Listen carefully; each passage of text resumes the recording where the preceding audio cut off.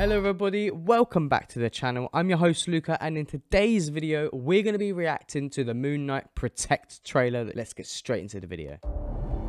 Steven. There he is. Hello, man in the mirror. I know you're scared. A bit, yeah. I know you're confused. You weren't supposed to see any of this. Oh, this What looks are so you? good. Sure you want to know? Yeah? Such a good transformation, man. Oh. Marc, you look different. I can't tell the difference Between my waking life. between my waking life and dreams. Oh, Am I like some sort of secret agent? This a lot more looks complicated fantastic.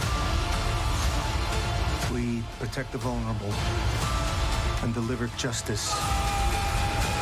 Jackals! This is the best, worst day of my life. Oh, great. I'm so gassed.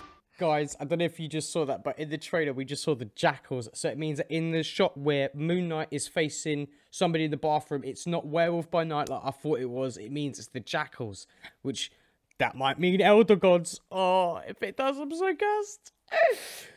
Guys, like if you like the video, please like it. Comment down below what you want me to react to next. I've been your host Luca, and I'll see you in the next one, my babies. Peace.